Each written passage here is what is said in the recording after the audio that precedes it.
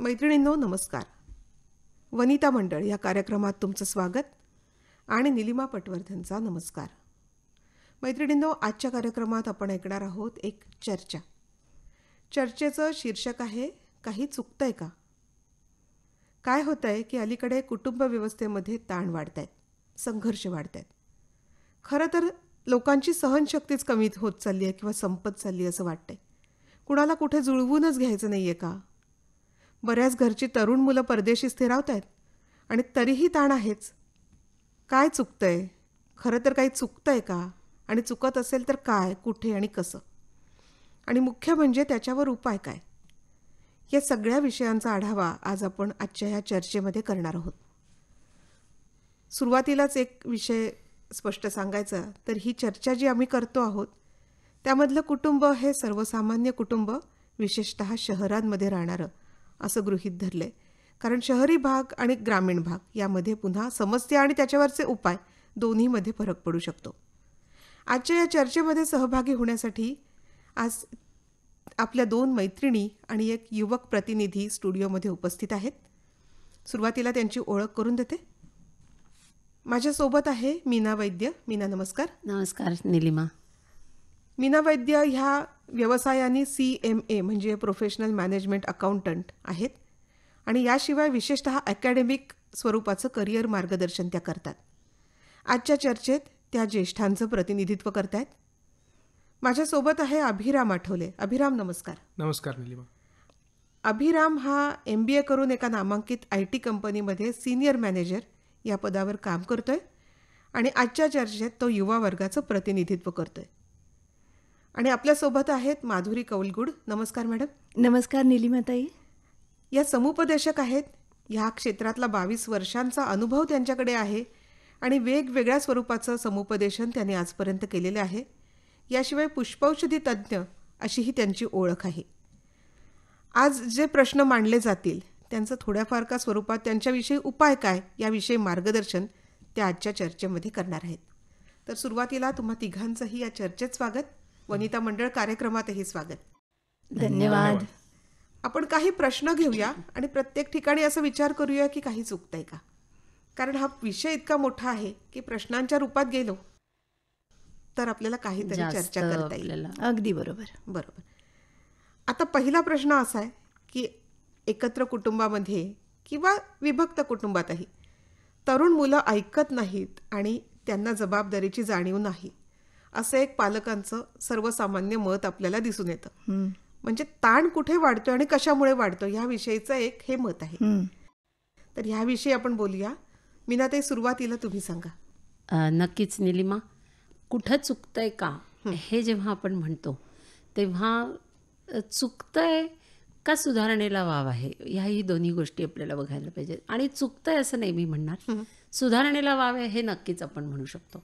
माझ्या दृष्टीने सांगायचं झालं तर संकल्पना आणि धारणा ज्या आपल्या आहेत आता एकत्र कुटुंब पद्धतीत विशेषतः ज्या गेल्या आपण एकत्र कुटुंब पद्धती हीच मुळात गेल्या एक चाळीस वर्षानंतर आता एक काय म्हणायचं संग्रहालयातली गोष्ट व्हायला लागलेली आहे. परंतु चाळीस वर्षापूर्वीची जर आपण संकल्पना धरली एकत्र कुटुंबी पद्धतीची तर साधारण शिस्त बेशिस्त चांगलं वाईट जबाबदार बेजबाबदार किंवा खरं खोटं याच्या एक विशिष्ट धारणा होत्या कुटुंबातल्या प्रत्येक व्यक्तीच्या. आणि त्या फॉलो करण्याच्या प्रत्येकाच्या एक ठराविक पद्धती होत्या. आणि त्याच्या बाहेर जर काही झालं त्या चाकोरी बाहेर तुम्ही गेलात तर तुम्ही या तर चुकताय किंवा खऱ्या आहात खोट्या आहात ज्या काही धारणा असतील त्या. सो एकत्र कुटुंब पद्धतीमध्ये नेहमीच हा गोंधळ राहिला आहे मला असं वाटतं की नक्की कशाला खरं म्हणायचं? नक्की कशाला खोटं म्हणायचं? आजच्या संदर्भात तू म्हणशील तर ती बऱ्यापैकी आउटडेटेडच आहेत ह्या गोष्टी. कारण एकत्र कुटुंब पद्धतीमध्ये संध्याकाळी सातच्या आत मुलांनी घरी यावं. किंवा जबाबदारीने वागायचं म्हणजे काय? तर शिक्षण पूर्ण करून लगेच आपलं काही उदरनिर्वाहाला सुरुवात करावी. ह्या सगळ्या संकल्पना खूप होत्या एक- एकत्र कुटुंब पद्धती पण आता तसं मी नाही म्हणणार की ह्याच संकल्पनांनी आपण पुढे जाऊ शकतो. सो आपल्याला एकत्र कुटुंब पद्धती म्हणजे नेमकं काय. आणि एकत्र येण्याची कुटुंबाची पद्धतच बदलली आहे. पहिली गोष्ट. बरोबर आहे. असं मला वाटतं. अगदी खरंय. पण तरीही पालकांचं एक सर्वसामान्य मत आहे. अगदी एकत्र कुटुंब नाही. विभक्त आहे. आई वडील आणि दोन मुलं. पण ती विशेषतः मुलं जेव्हा तरुण व्हायला लागतात तेव्हा ताण वाढतो कारण ती मुलं काही ऐकतच नाहीत. बरोबर. तर ह्याच्या बाबतीत तुमचा अनुभव काय? मुलं ऐकत नाहीत का मुलांचं जे म्हणणं आहे ते ऐकण्याची पालकांची पद्धत वेगळी आहे. हं, फरक मला जास्त महत्त्वाचा वाटतो याचं कारण असं की मुलं खरं तर ऐकत असतात. पालकांनी कशा पद्धतीने ऐकून घ्यायचं हे. पालकांनी ठरवावं लागतं. पण पालकांना सुद्धा या गोष्टीची जी जाणीव असते की मुलाची समोरची बदलतीये परिस्थिती तर त्या परिस्थितीला आपण अनुरूप राहायचं का. आणि मग तिथे काही वेळा पालकांना चॉईस नसतो. मी असं म्हणेन की समजत असतं की चुकतंय. पण ॲट द सेम टाईम असं वाटत असतं की बरं असं असतं तर कदाचित हा असा वागला नसता. किंवा असं असतं तर जास्त बरं झालं असतं. सो पालकांना सुद्धा ही थोडीशी गोंधळाची परिस्थिती निर्माण झाली माझ्या मते. म्हणजे मी आज असं म्हणेन की माझी ही मुलं मोठी आहेत जी काही व्यवसायात आहेत किंवा ह्याच्यात चुकतच नाहीत का? चुकतात. पण ॲट द सेम टाईम त्या चुकीकडे पालक म्हणून मला जे काही बघायचं असतं तो माझा पालकांचा दृष्टिकोन मला मला असं वाटतं की थोडासा सुधारला तर चालणार आहे. बर बर. अभिराम हा. मुद्दा मला खात्री आहे की तुझ्या घरी सुद्धा खूप चर्चा होत असणार आहे की एक प्रकारची पिढीतलं अंतर आहे आपण म्हणू शकतो. पण बऱ्याच गोष्टी अशा होतात की वडील किंवा मोठी माणसं सांगतात ते तुम्हाला पटतच नाही. हम्म. नक्कीच आणि कधी कधी हेकेखोरपणा सुद्धा होतो का? नक्कीच होऊ शकतो. त्याचं कारण असं असतं की प्रत्येक पिढीचं काय बरोबर काय चूक हे जाणून घेण्याचं तंत्र वेगळं वेगळं असतं. आणि या वेगवेगळ्या तंत्रामुळे कोणाचं जे चुकीचं आहे ते पुढच्या पिढीला बरोबर वाटू शकतं. आणि ज्या पुढच्या पिढीचं बरोबर आहे त्या आधीच्या पिढीला चुकीचं वाटू शकतं. आणि अं, अं, जबाबदारी बद्दल आपण जेव्हा आपण बोललो की जबाबदारीची जाणीव असणं खूप गरजेचं आहे नक्कीच गरजेचं आहे. आणि ती प्रत्येकाला आपापल्या वयानुसार यावी ही अपेक्षा चुकीची अजिबात नाही पण ह्याच्यामध्ये सुद्धा काही गोष्टी असतात. त्या म्हणजे जबाबदारीची जाणीव येणं हे एक मूल आपल्या आई वडिलांकडनं अनुकरणातून शिकत असतं. जेव्हा आई वडील ते जबाबदारीची जाणीव आहे असं त्यांच्या वागण्यातून मुलांना दाखवतात त्यावेळेला त्यांना जबाबदारीची जाणीव यावी ह्यासाठी एक मोटिवेशन मिळत असतं ऑन अ रेग्युलर बेसिस दुसरी एक बाब त्याच्यामध्ये अशी असते की कुठल्याही व्यक्तीची तरुण असो लहान असो कोणाची जर्नी सेम नसते. प्रत्येक व्यक्तीची जर्नी वेगवेगळी असते. आणि प्रत्येकाच्या आयुष्यात असा एक प्रसंग येतो ज्या प्रसंगानंतर त्याला आपसुकच जबाबदारीची जाणीव येते. त्याच्यामुळे cometh the hour cometh the man अशी एक म्हण आहे मग इंग्लिशमध्ये.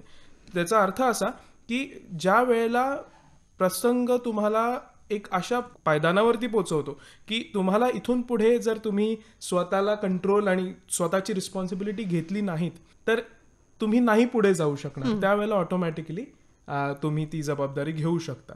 त्याच्यामुळे अरे जोशींचा मुलगा बघ किती पुढे गेला.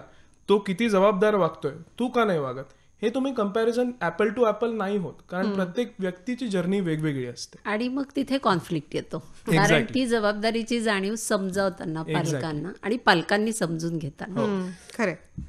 पण असं होतं ना खूपदा. म्हणजे आता तुझ्या बोलण्यातनं मला एक जाणवतंय की एकाचा अनुभव हा दुसऱ्यासाठी अनुभव असतोच असं नाही. काय सांगता येईल माधुरी ते अगदी बरोबर आहे. एकाचा अनुभव हा दुसऱ्याचा असू शकत नाही. परिस्थितीजन्य असतं सगळं वागणं.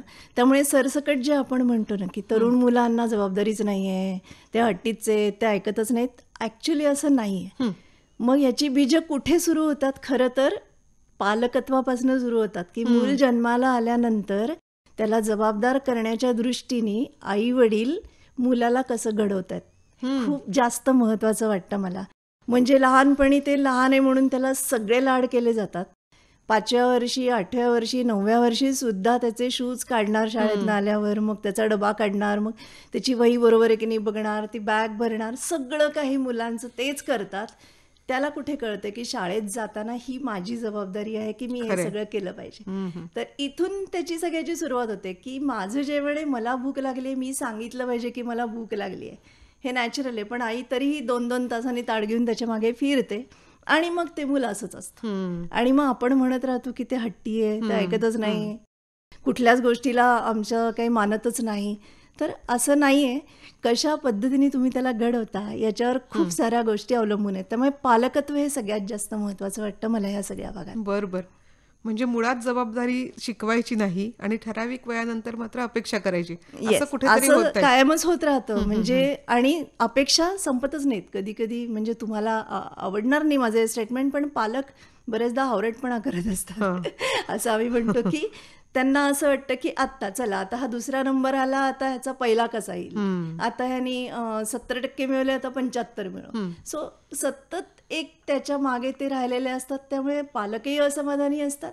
मुलांनाही त्याचं प्रेशर असतं. आणि त्यातनं त्यांची चिडचिड आणि हे सुरू होतं. आणखीन एक महत्त्वाचा मुद्दा मला इथे मांडायचा आहे की मुलाचं वय बदलतंय. पण आई त्याचं तिसरीतलं जे बोट असतं ते तसंच धरून ठेवते. आणि त्यामुळे तो आठवीत गेला तरी सूचना देण्याची पद्धतही तीच राहते. तर मूल मोठं होतंय थोडं थोडं ते आपल्यासारखं वागायला बघतंय ते पालकांना आवडत नसतं. आता तो उद्धट बोलायला लागला असं त्यांना वाटतं पण ते तसं नसतं ते त्याचं मत मांडायला लागलेलं असतं. तर या सगळ्या गोष्टीकडे जितकं सकारात्मक दृष्टीने पालक बघतील आणि चांगलं त्याला छान समोर बसवून संवाद साधायला बघतील तो काय म्हणतोय ते नीट ऐकायचा प्रयत्न करतील आणि मग पॉज देऊन रिॲक्ट करायचं का रिस्पॉन्ड करायचं? प्रतिसाद द्यायचा. का प्रतिक्रिया द्यायची? हे पालकांनी ठरवणं महत्वाचं असतं. तर प्रतिसाद जितका देतील तेवढं ते मूल ऐकणार का नाही ऐकणार?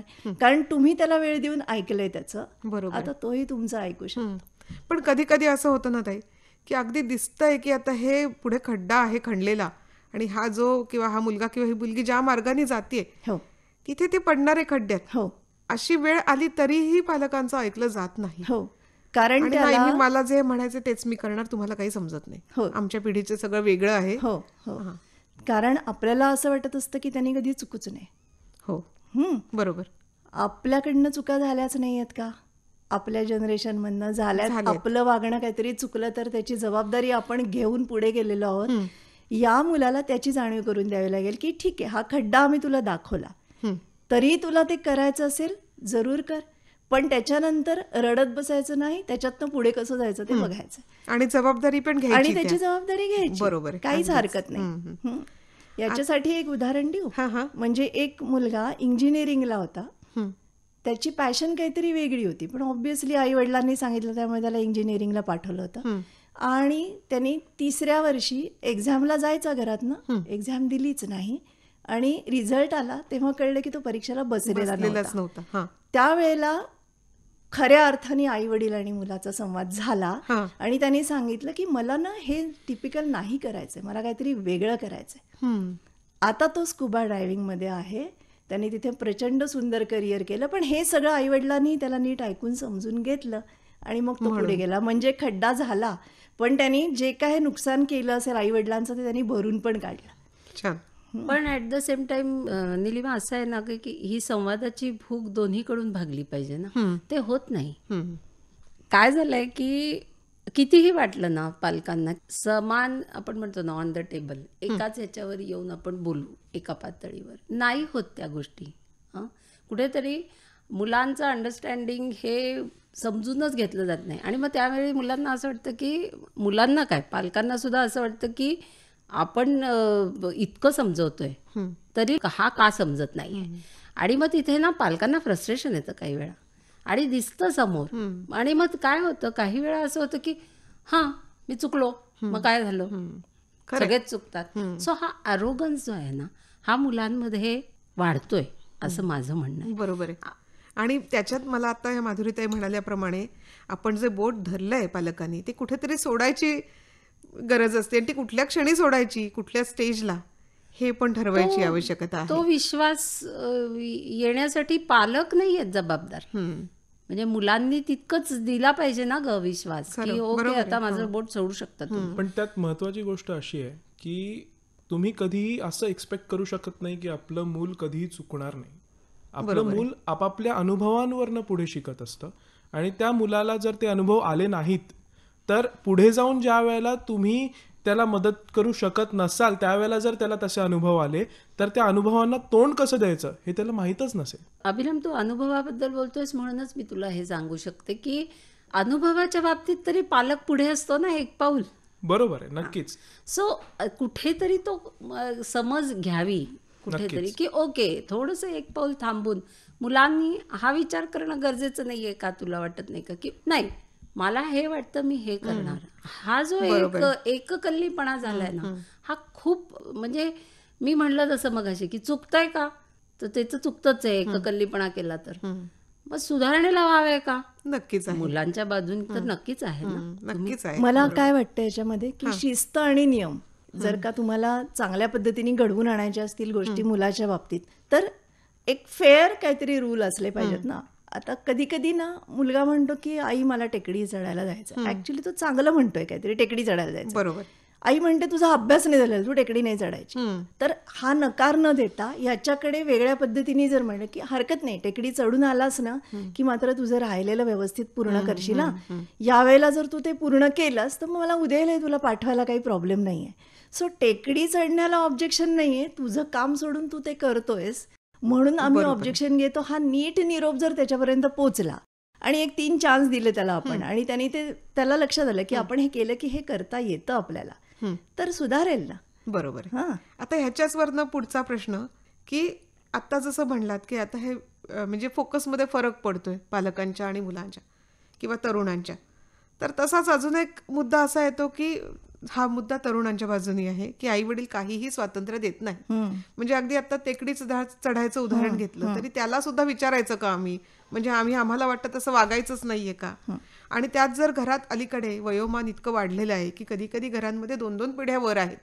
आई वडील आहेत त्याचबरोबर आजी आजोबा आहेत हो. त्यांनाही स्वतःची मतं आहेत. हो. तर मग अशा वेळेला मुलांना त्याच्या बाबतीत खूप ताण येतो. हं. आणि त्यात जर लग्न झालेलं असेल तर तो ताण वाढतो. कारण एका वेगळ्या कुटुंबातून वेगळ्या विचारातून आलेली एक मुलगी त्या घरात आलेली हो. आहे अशा वेळेला ह्या सगळ्याचा तोल सावरणं हे तरुणांसाठी खूप मोठी जबाबदारी आणि एक फार दोलायमान अवस्था होते आहे. तर ह्या बाबतीत बोलायची सगळ्यात पहिल्यांदा संधी आपण अभिरामला देऊया ह्यात एक महत्त्वाचा मुद्दा मला नमूद असा करावासा वाटतो की जे स्वातंत्र्य मुलांना एक आयुष्य जगण्यासाठी हवं असतं त्याच्यामध्ये पालक स्वातंत्र्य देत नाहीत अगदीच असं माझं म्हणणं नाहीये खरं म्हणजे. माझं म्हणणं हे आहे की त्यांचा फोकस मुलांच्या डेव्हलपमेंटच्या एकाच अंगाकडे जास्त असतो. म्हणजे मुलाची एक सर्वांगीण प्रगती व्हावी. हा. जो एक विचार नवीन पालकांमध्ये हळूहळू दिसतोय डोकावताना तो जुन्या पालकांमध्ये तो तेवढा नव्हता. आणि जुन्या पालकांमध्ये एकच विचार होता बाबा अभ्यास कर चांगली नोकरी मिळव चांगली छोकरी मिळव आणि आयुष्य तुझं सुधार आणि आयुष्य एक स्टेबल कर. हा एकांगी विचार असल्यामुळे त्या मुलाला जर समजा काही अजून ऍस्पेक्ट्स असेल त्याच्या लाईफमध्ये जसं त्याला जर संगीत आवडत असेल त्याला जर कुठले खेळ आवडत असतील त्याला जर दुसरं काही आवडत असेल पेंटिंग आवडत असेल तर ते जोपासण्यासाठी त्याला वेळ जर तो देऊ शकला नाही आणि त्याला जर तुम्ही वायफळ वेळ असं जर घोषित करायला लागलात तर त्याचा जो एक फोकस आहे जो ह्या सगळ्यांकडे असायला हवा त्याचं पर- त्याची पर्सनॅलिटी तेवढी डेव्हलप होण्यासाठी तो तेवढा राहणार नाही. आणि त्याच्यामुळे एक फ्रस्ट्रेशन जे क्रिएट होतं त्या फ्रस्ट्रेशन मधनं रेबिलियस ऍटिट्यूड क्रिएट होतं. आणि तो एक जो रेबिलियस ऍटिट्यूड असतो त्याच्यामुळे मुळेही कॉन्फ्लिक्ट अजून वाढतात. बरोबर. त्याच्यामुळे मुलाची जी प्रगती आहे ती एकांगी नसून त्याची एक सर्वांगीण प्रगती व्हावी ह्याचा पालकांनी खूप विचार करणं गरजेचं आहे. कारण आपण जगातही आजकाल पाहतो एकांगी व्यक्ती काही काळासाठी लाईमलाईटमध्ये राहते किंवा लोकांच्या नजरेत राहते. पण एक सर्वांगीण प्रगती झालेला व्यक्ती जो असतो तो अजून कितीतरी विषयांवरती एका वेळेला बोलू शकत असतो. त्याला त्या विषयांवरती माहिती असते प्रभुत्व असतं आणि त्याची पर्सनॅलिटी तेवढी जास्त झळकते. बरोबर म्हणून ते मला बोलावं असं वाटलं हम्म. मीना काय सांगणार? दिलीबा माझ्या दृष्टीने ना हे फ्रस्ट्रेशन्स नैराश्य येणं याचं थोडं जास्त अवडंबर आता ही तरुण पिढी करते असं माझं नक्कीच मत आहे. याचं कारण ही नव्हती का? होती ना आधी सुद्धा. पण मग आमच्या पिढीला पण केलेच ना आपण मग एवढ्या गोष्टी कुठल्या थराला न्यायच्या याचा कंट्रोल थोडा तरी तरुण पिढीने ठेवा की लगेचच अगदी एका नकारात त्यांना काहीतरी खूप होऊन जातं. म्हणजे असं. की एका अमुक एका गोष्टीला नाही म्हटलं म्हणजे फार मोठा गुन्हा केलाय पालकांनी अशा पद्धतीचं वातावरण घरामध्ये तयार करतात बरोबर आहे. मुलं. की हे सगळं तुमचं चुकच आहे म्हणजे इतकं सगळं आहे आणि तरी तुम्ही मला आता काय ट्रेकला नाही जाऊ देतात किंवा तुम्ही मला सुट्टी नाही माझ्या मनासारखी घालत आहे ते वगैरे वगैरे. बरोबर आहे. सो हा थोडा अतिरेक आहे माझ्या दृष्टीने. आणि प्रत्येक माणसाला एक मेकॅनिझम आहे. तर मुलांना सुद्धा त्यांच्या इनबिल्ट मेकॅनिझम्स आहेत ती की त्यांनी त्यांचं नैराश्य कसं हँडल करावं. पण आजकाल काय झालं माहिती आहे का? मी तुमचा मुलगा आहे म्हणजे माझं जे काही आहे ना ते सगळं तुम्हीच हँडल करायचं आहे हा एक खूप मोठा हट्ट म्हणीन मी. तो मुलांमध्ये येत चाललेला आहे. त्यांच्याच दृष्टीने तो खरं म्हणजे चांगला नाही आहे पण हे पालकांनी सांगितलं की ते पटत नाही. बरोबर. आणि माधुरीताई मी टाईम माझा स्वतःला मला वेळ हवा. किंवा मी मला आज लो मूड आहे. हे. आत्ता मीनाते म्हणल्याप्रमाणे खरंच थोडंसं अवडंबर माजवलं जात आहे का मला असं वाटतं परत एकदा लहानपणापासनं आई वडील त्याला ज्या पद्धतीने वाढवतात त्याच्यातनं त्याचे हट्ट किती करायचे कधी नाही करायचे आई वडिलांना कुठे मॅनिप्युलेट करायचं कुठे नाही करायचं त्याला बरोबर सगळं कळलेलं असतं. आणि म्हणून हे हट्ट सगळे वाढलेले दिसतात आपल्याला. किंवा त्याला आधी नाही त्यांनी काही मागितलं की कारण आई वडील ना नोकरी दोघंही करत असतात. आणि आपण मुलाला नीट न्याय देऊ शकत नाही हे कुठेतरी खंत गिल्ट अपराधी भावना सगळं काही असतं मनामध्ये.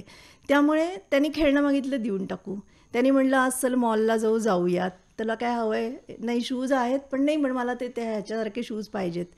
मग ते लगेच जे दिलं जातं त्यातनं मूल हळूहळू हट्टी व्हायला लागतं. आणि मग लहानपणी कौतुक म्हणून आपण ते सगळं करतो आणि मोठेपणी आपल्याला ते सगळं आवडेन असं व्हायला लागतं. तर कुठेतरी हा जर का बॅलन्स पॅरेंट्सना साधता आला तर एवढ्या लेवलला मूल जाणार नाही. तर पन्नास टक्के वेळा त्याला मी नाही म्हणणार आहे आणि त्याची व्हॅलिड रिझन्स देणार आहे.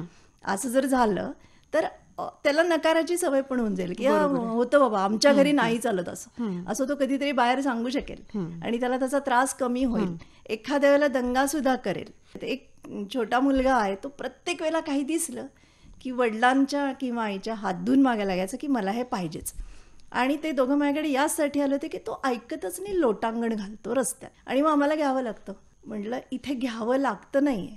त्याला कळले की मी लोटांगण घातलं की हे देणार. म्हणून तो लोटांगण घालतोय. त्यांनी लोटांगण घातलं की म्हणायचं अच्छा बाय बाय आम्ही गाडीत बसतोय. यायचं तरी ये नाही तर आम्ही चाललो. ओके. बरोबर हे जसं जसं सुरू झालं तसं त्याचं हे प्रमाण सगळं कमी होत गेलं रस्त्यातलं. पण घरचं चालू होत. घरच्याही फ्रंटवर मी हेच सांगितलं त्याला सांगायचं रड तुझं झालं रडून की शांतपणे ये. काय म्हणणं होतं तुझं? ओके तुला हे हवंय त्याच्यासाठी तुला काहीतरी वेगळं करायला लागेल. आमिष नाही हा. हे तुला मी का द्यायचं? तू तर कसा कसा वागतोस? तू किती त्रास देतोस? मग तू जर छान वागलास तर जेव्हा मला असं वाटेल की हा छान वागतोय त्याला देऊ ना. मग तुझी इच्छा पण पूर्ण होईल पण तुला हे सगळं या या पद्धतीने करायला लागेल ना. तर त्याला कळू देत की कष्ट केल्याशिवाय आपल्याला काही मिळत नसतं. सगळं मी मागितलं आणि मला मिळालंय असं नाही होणार. आणि ते मूल भरपूर सुधारलंय. आणि ते कधी कधी आठ महिने नऊ महिनेच झाले त्या गोष्टीला. पण म्हणताना असं म्हणतं लहानपणी मी खूप हट्ट करायचो. बर बर सो त्याला आता असं वाटतं की मी हे शहाण्यासारखं वाक्य म्हणलं की माझं कौतुक होणार. हां. हं.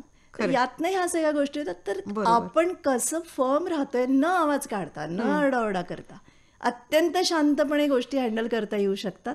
तुम्ही फक्त फर्म पाहिजे आणि खात्री पाहिजे की हे आपण या मुलाच्या चांगल्यासाठी करतो आहोत.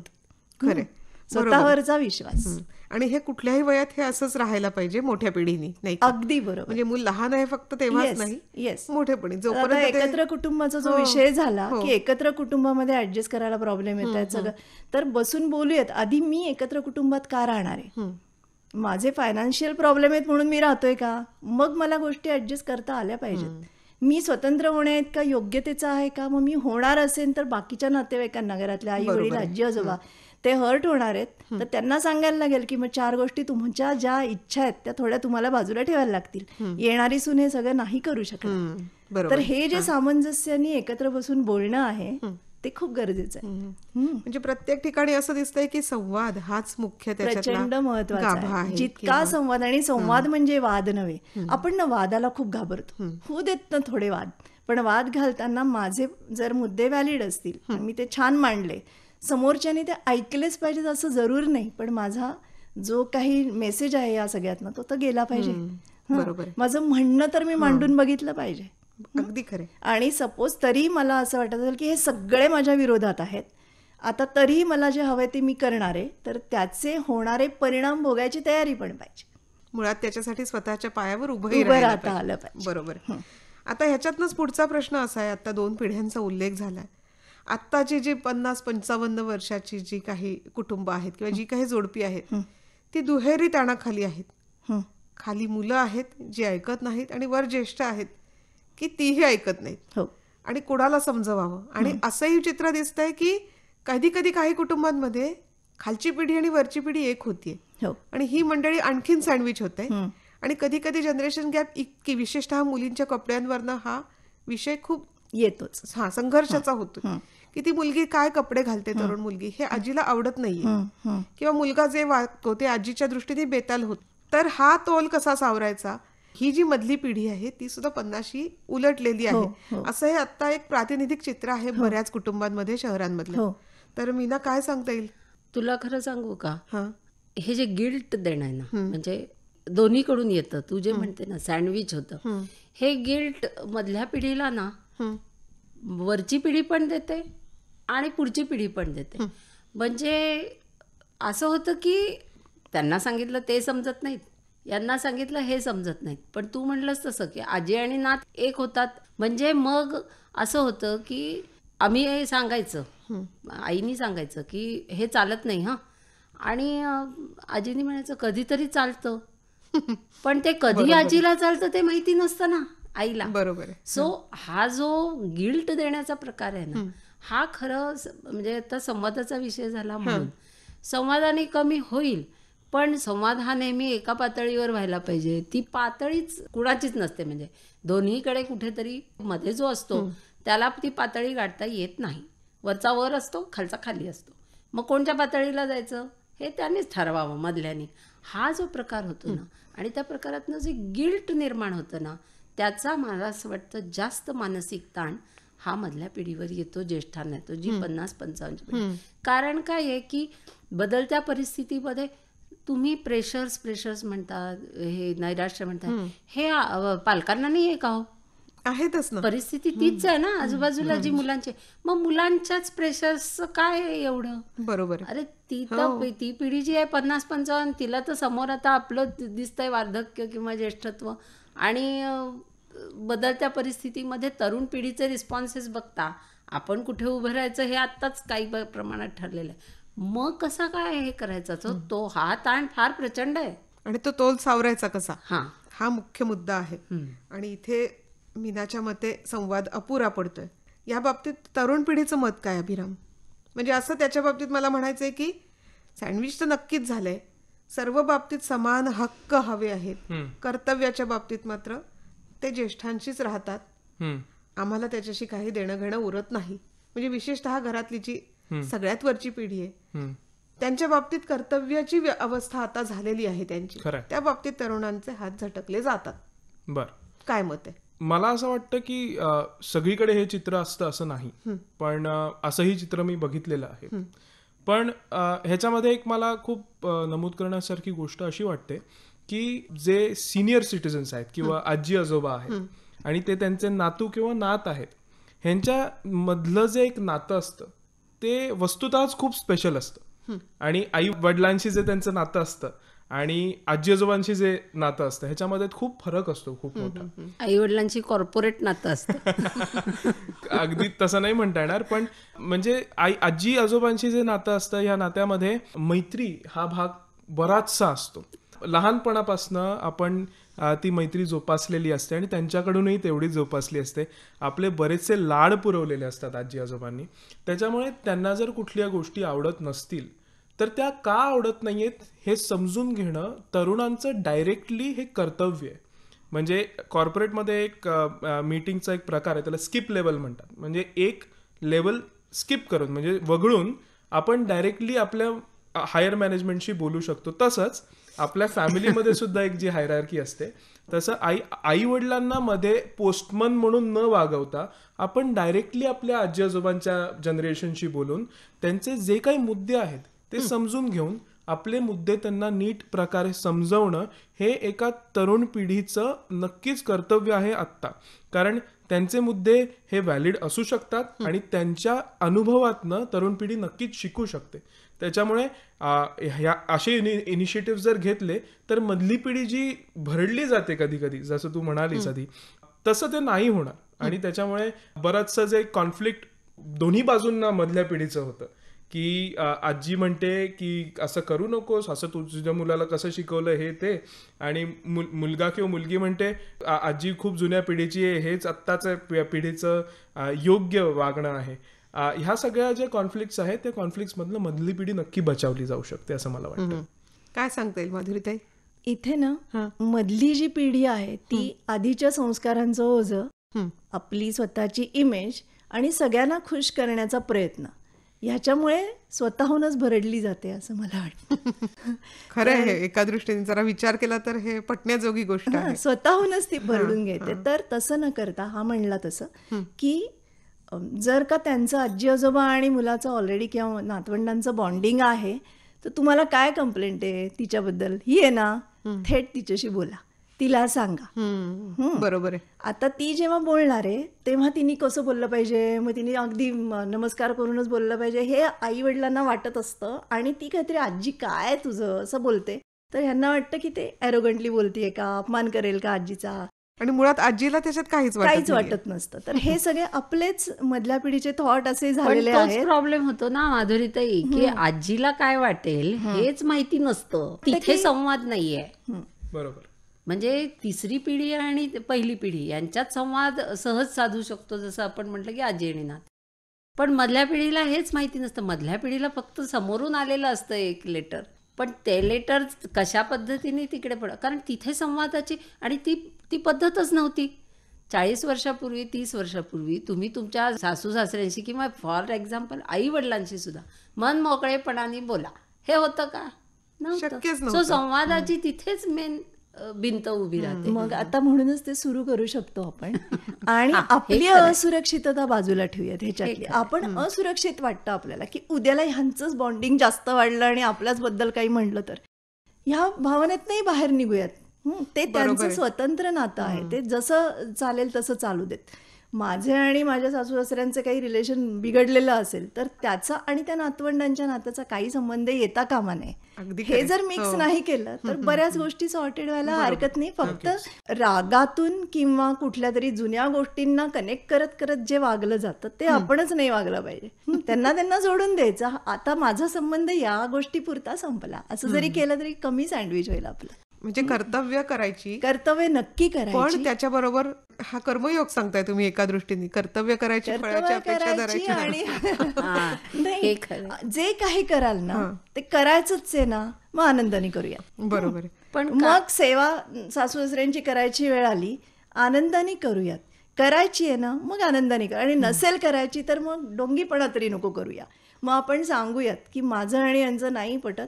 इथे तू बाई लाव वाटेल ते कर मी नाही बघणार आहे. आणि अगदी तरुण पिढी सुद्धा आपण ज्या वेळेला बघतो की आपले आई वडील आपल्या त्यांच्या आई वडिलांची म्हणजे आपल्या आजी आजोबांची कशी काळजी घेत आहेत आणि त्यांची कशी जबाबदारी उचलत आहेत तर त्यावेळेला ती तरुण पिढी ही स्वतःहून अनुकरणाने जसं मी म्हटलं एक मिररिंग इफेक्ट असतो लोकांमध्ये. त्या मिररिंग इफेक्टमुळे आरशात जे तुम्ही बघता त्यानुसार तुम्ही वागायला लागता आणि त्याच्यामुळे सुद्धा एक जबाबदारी घेऊन म्हाताऱ्या आपल्या घरातल्या सदस्यांची काळजी घेण्याची सुद्धा एक सवय ही. तरुण पिढीला लागते वाटतं. म्हणजेच पुन्हा एकदा पालकत्वाशी आल्या ना गोष्टी की लहानपणापासून तुम्ही कसे वागणार आहात तेच मूल बघणार आहे आणि त्याला त्याप्रमाणे पुढे नेणार आहे.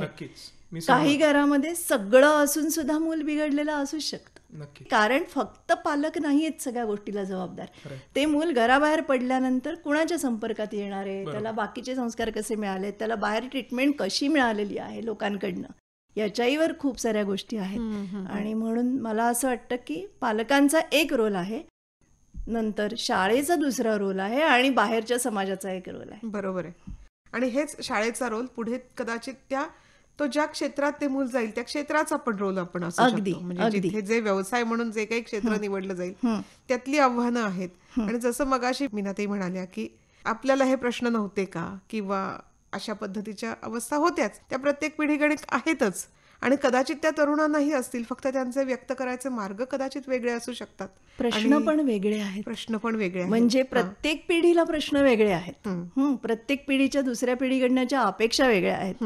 आणि आताची ही जी तरुण पिढी आहे त्यांच्या ते इतकं आपलं आधुनिक जग इतकं फास्ट आहे की याच्यामध्ये त्यांना घड्याळाप्रमाणेच सारखं सगळं मिळवायचंय. हं, आणि त्यामुळे सगळंच मिळवायची घाई आहे. पूर्वीच्या काळी जी तुलना व्हायची ती घरातल्या भावंडाशी इकडे तिकडे व्हायची. आता तसं पण नाही राहिलेलं. आता इंटरनेटवरनं मीडियावरनं सोशल मीडियावरनं कुठेतरी चायनात बसलेला माणूस काय करतोय स्पेशल ते बघून मला असं वाटतं बापरे काय काय करतात छोटी छोटी मुलं पण मला काहीतरी केलं पाहिजे. बरोबर. हं, अशी तुलना पण आहे. त्याचं सगळ्याचं प्रेशर त्यांना स्वतःनी घेतलेलं पण आहे आणि पालकांनी दिलेलं पण आहे. खरे ही गोष्ट अगदी बरोबर आहे तुमची की परिस्थिती मुलांच्या भोवतीची बदलली आणि त्याचा ग्रास्प व्हायला पाहिजे पालकांनी त्याची समज ठेवली पाहिजे.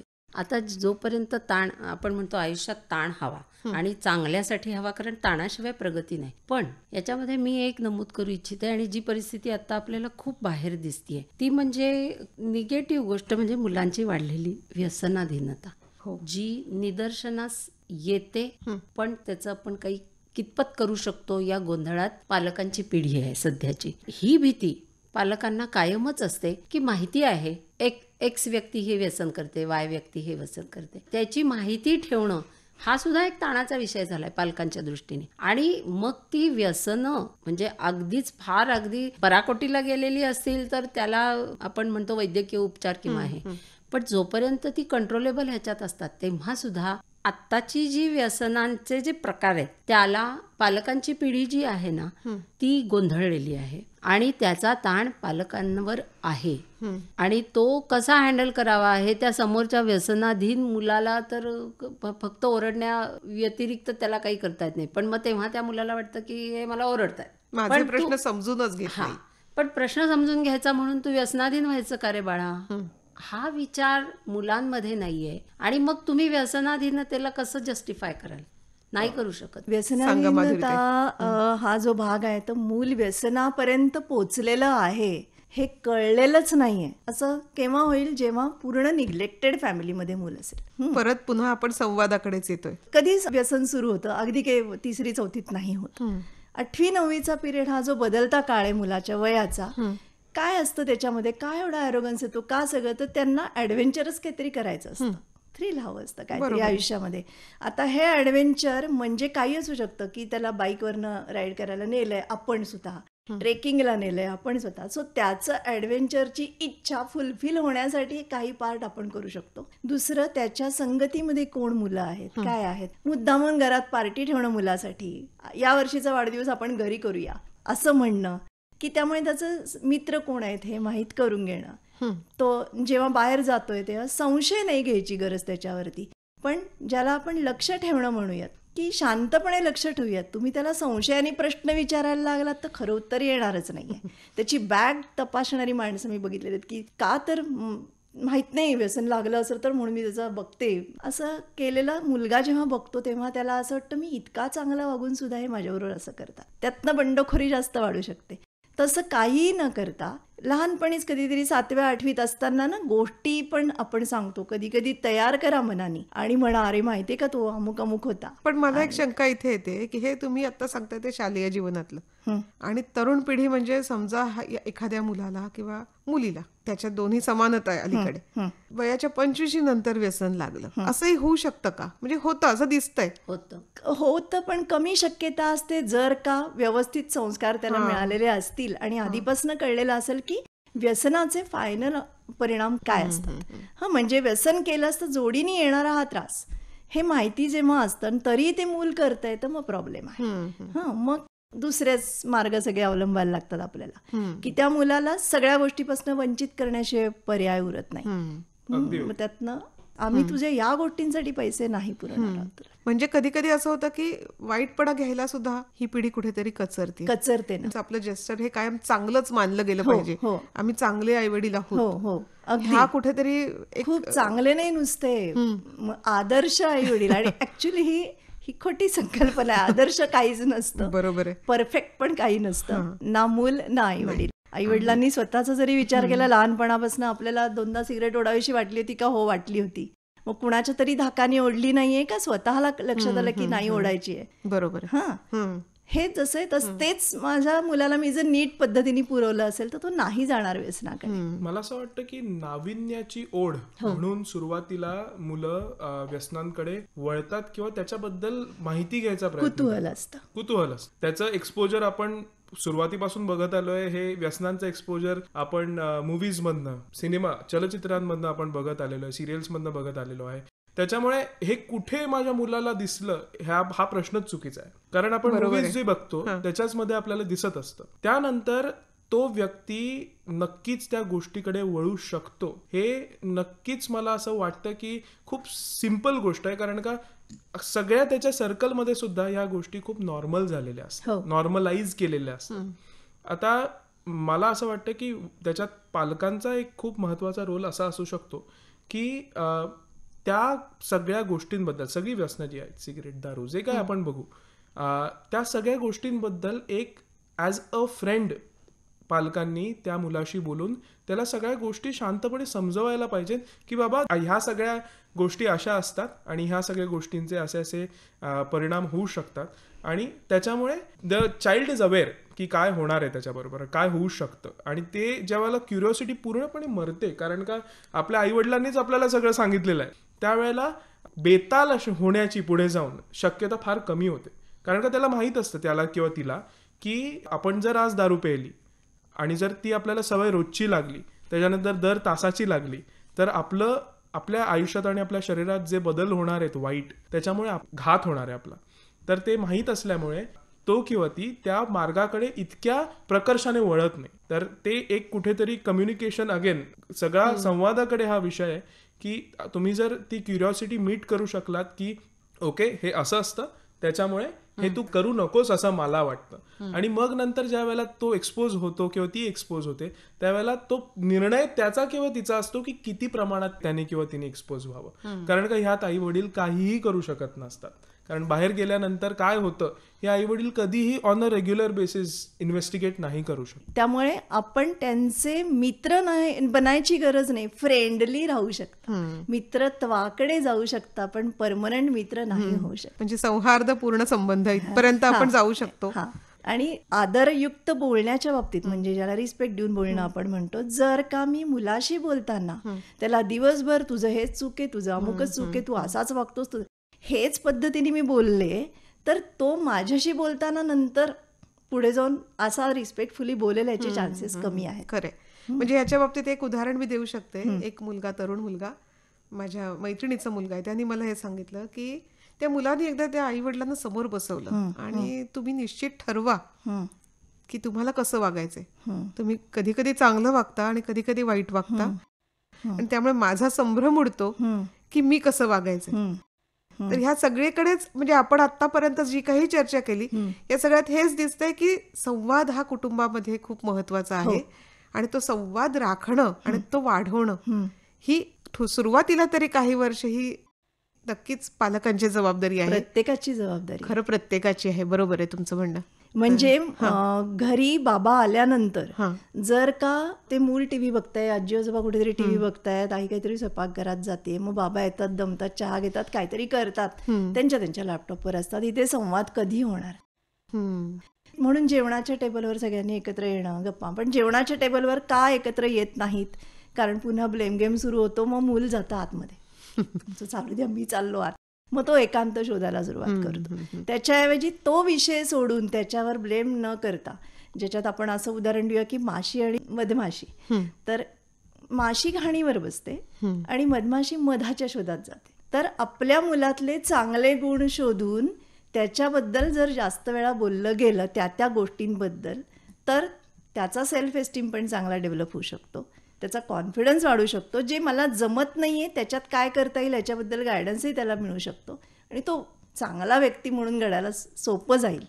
सारखं ब्लेम करत राहिलं दिवसभर त्याच्याबद्दल काही ना काही उणं दुणं बोलत राहिलं. कारण असतंच बोलण्यासारखं. बरोबर त्याच्यावर सगळ्यांचा फोकस असतो.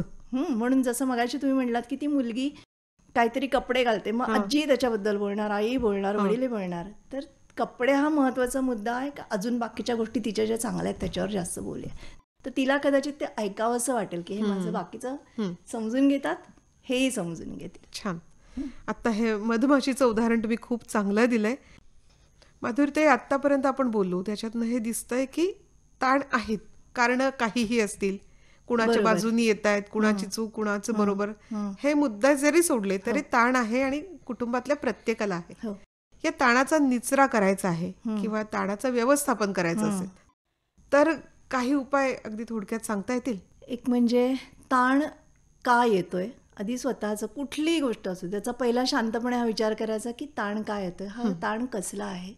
हा माझा मी घेतलाय का बाहेरच्या परिस्थितीतनं तयार झालेला ताण आहे? यात माझ्या कंट्रोलमधली परिस्थिती काय आहे? त्याच्यावरती मी दोनशे टक्के काम करेन. जे माझ्या कंट्रोलच्या बाहेर आहे त्याच्यावर मी काहीच करू शकणार नाही. मग मला जे जे काही मार्ग सुचतील ते मी काढेन. त्यातनंही समजा तो प्रश्न सुटत नसेल तर मग तुम्ही प्रोफेशनल मदत घेऊ शकता. किंवा माझी अशी कोणीतरी खात्रीची एखादी व्यक्ती असू शकते की जिच्याशी बोललं की बरेचदा प्रश्न सुटायला मला मदत होते. अशी मदत घेऊ शकतो. संवाद करून बोलून अडचण मी या या अडचणीत आहे अगदी तुम्ही कुठल्या लोनमध्ये असाल तरी जी व्यक्ती आहे तिच्याशी बोलून की असं असं आहे हा हा प्रॉब्लेम आहे काही मार्ग आपल्याला काढता येतोय का? इथपर्यंत बोलून मार्ग निघतोय का पाहणं गरजेचं आहे. दुसरं आजचा दिवस महत्त्वाचा हा मी छान घालवला पाहिजे. माझं आयुष्य हे नुसते ताणतणाव घेण्यासाठी नाही आहे मी जे काय काम करते ते करायचं आहे ना मग आनंदाने करीन. ह्या पद्धतीने विचार करत जर दिवस सगळा चांगला घालवला आणि झोपताना आज दिवसभरामध्ये एक आत्मपरीक्षण करून की दोन मिनिटाचं केलं तरी पुरतं. की दिवसभरात माझ्या हातनं काही चुकलंय का असेल तर परत पुढच्या याला ते दुरुस्त करूया. आणि कोणी माझ्यासाठी काही चांगलं केलंय का त्याला थँक्यू नक्की म्हणूया ह्या जरी गोष्टी केल्या तरी आपण खूप शांत झोपू शकतो. मग झोप उडाली आहे झोपच लागत नाही हे विषयच कधी येऊ शकत नाहीत. आणि तीन मिनिटाचं काय ना मेडिटेशन स्वतःसाठी विचार करणं सगळ्यांनी ते करायला पाहिजे. आणि ह्याच ठिकाणी आपण ही चर्चा पण थांबवूया कारण या विषयाला खूप वेगवेगळे आयाम आहेत आणि प्रत्येक त्यातल्या विषयावर एक स्वतंत्र चर्चा नक्कीच होऊ शकते. हे आपण प्रातिनिधिक काही मतं मांडली आणि त्याच्यावरती चर्चा केली. तर काही चुकतंय का? तर नक्की चुकतंय. पण जसं मीनाते आधी म्हणाल्या तसं सुधारणेला वाव नक्कीच आहे. आणि मग नक्की जिथे असा प्रश्न येतोय काही चुकतंय का त्याच ठिकाणी तिथे कळतंय की हे सुधारू शकतो आपण हे बदलू शकतो. आणि कसं बदलायचं आणि काय बदलायचं हे प्रत्येक सुजाण व्यक्तीने कुटुंबातल्या स्वतःचं स्वतः ठरवायचंय. खरं योग्य वेळेला हात धरायचा आहे योग्य वेळेला हात सोडायचाही आहे. अगदी बरोबर. आज तुम्ही तिघही जण वेळात वेळ काढून इथे आलात आणि या चर्चेत भाग घेतलात त्याबद्दल सर्वांच्या वतीने तुमचे मनपूर्वक आभार धन्यवाद. धन्यवाद. आकाशवाणीने आम्हाला ही छान संधी दिली आमची मतं व्यक्त करायला. त्याबद्दल आकाशवाणीचे आणि निलिमाताई तुझे आम्ही खूप खूप आभारी आहोत.